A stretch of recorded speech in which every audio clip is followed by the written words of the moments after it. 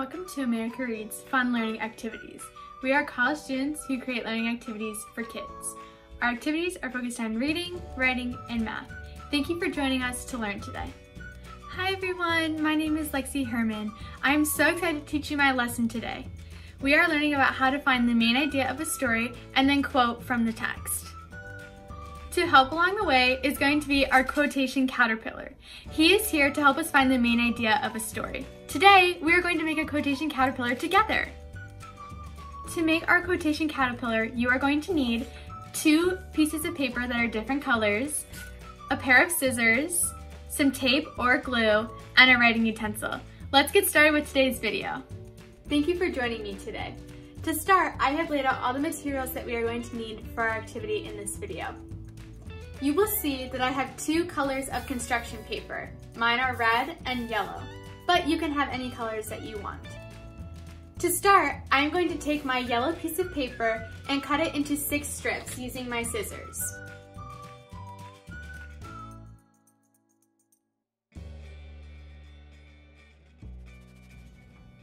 You can see that they are not all equal size, but that's okay. It doesn't really matter for this activity.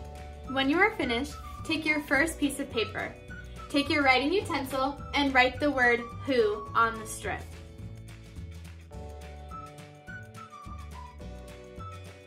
When we are trying to figure out the main idea of a story, we can start with who is in the story, meaning who are the characters. This starts our quotation caterpillar.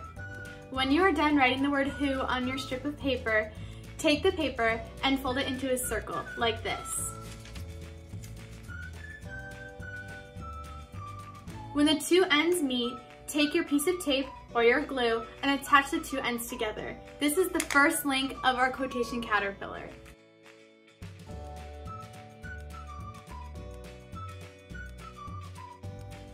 Next, take your second strip of paper. On this strip, write the word what. As we continue to build our quotation caterpillar, it is important to list the steps that lead us to identifying the main idea of a story.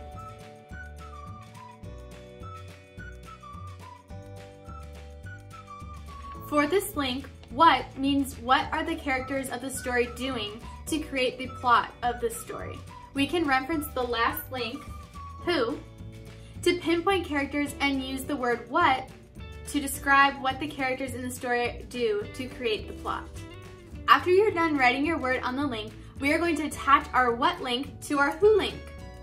To do this, take your what strip of paper and string it through the who strip.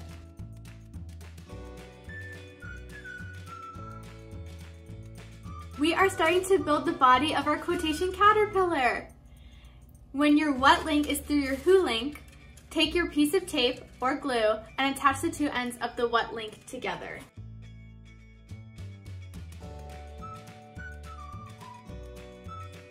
It should end up looking like this. The who is vertical and the what is horizontal. Now, we have two links of our quotation caterpillar, but we have six strips total. Grab your third piece of paper and let's make another link for our quotation caterpillar. On your third piece of paper, write the word when. This link of our quotation caterpillar indicates that we have to find out when the story took place. We can see the story used past tense or present tense. We can use the last link, the what link, to help us create the time limit of events in a story or the plot of the story.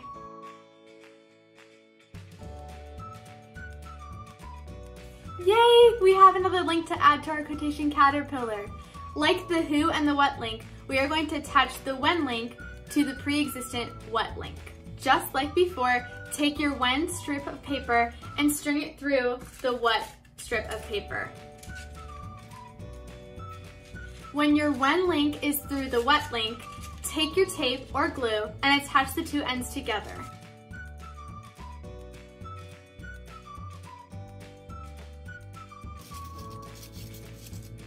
Our quotation caterpillar is looking amazing. We are halfway done with the body. Next, for your fourth strip of paper, write the word where.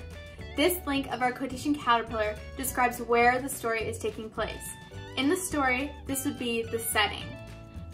From our links already in the quotation caterpillar, we can use the who link for characters of the story to help determine where they might take place. We can also use the what link to help us decide what the setting is like. We can also use the when link for the setting as well. Our quotation caterpillar is getting a little bit bigger. We can use the length of its body to help determine the main idea of a story. So far, we have the who, the what, and the when link. Now, go back to your fourth strip of paper and write the word where. You should all know the drill by now. Take your where strip of paper and string it through the when strip. Now, use your tape or your glue and fold the two pieces together.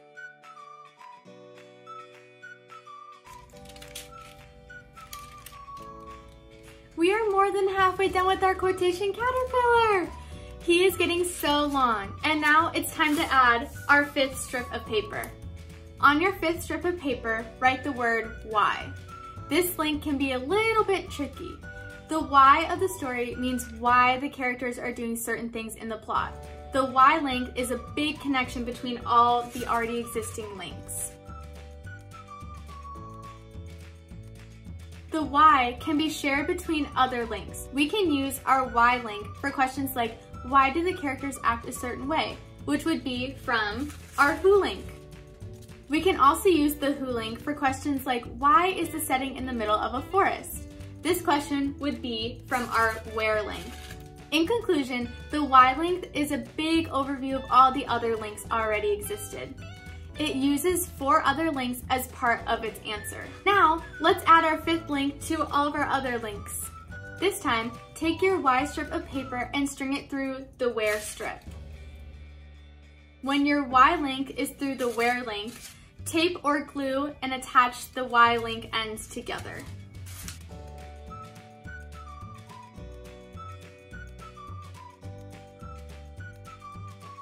We are on to our last link of our quotation caterpillar. I am so excited to see him all finished. Finally, on your last and sixth piece of paper, write the word how. This link is a little different. As you have noticed, the other five links start with the letter W, except this one. The how link is similar to the why link because they both need to find other links to describe the main idea of the story. The how link explains how the plot is arranged. For example, we can use the how link to describe how the characters did something in the plot. In order to do this, we need to use our who link to answer this question for the characters. As you can see, all the links in the quotation caterpillar are intertwined. That is why they all link together. In order to know where, or the setting of the story, we need to know the who, or the characters of the story. We also need to know the where, where they all live. Just like the links of a caterpillar, the elements that lead to the main idea of the story are all linked together. It is now time to attach our final link of our quotation caterpillar. Take your how strip of paper and string it through the why strip. How link is through the why link. Fold the two pieces together and attach with your piece of tape or your glue. We are all finished with the links of our quotation caterpillar. Now that we have assembled the body of the quotation caterpillar, we need to add a face, of course. I am going to use my red sheet of paper to cut a strip with my scissors. After I'm done cutting the piece of paper, I'm going to attach my caterpillar's head and slide it through the how link.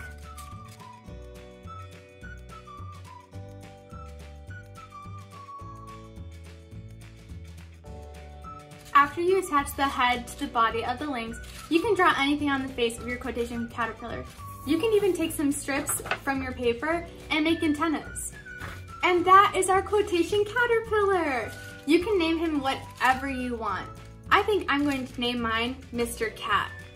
I hope you were all able to follow along with this activity and learn a little bit more on developing the main idea of a story. This activity should help you find direct quotes from the text and create the main idea of the story. Thank you for learning with us today. We hope you come back and learn some more. Please comment if you have any questions, like and subscribe to our channel, and we will be back with more videos.